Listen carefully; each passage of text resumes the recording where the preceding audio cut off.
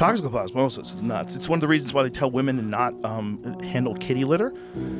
Toxoplasmosis is a cat parasite that grows in a cat's gut. And when it gets on rats, it rewires the rat's sexual reward system and make the rats sexually attracted to cat urine.